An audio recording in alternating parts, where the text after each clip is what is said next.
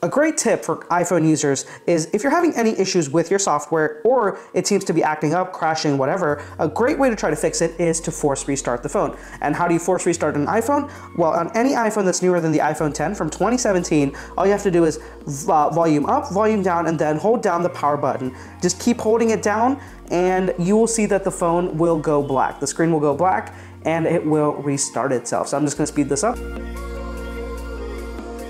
So just a tip for you guys, make sure you hit those buttons consecutively and you don't need to hold any two of them together.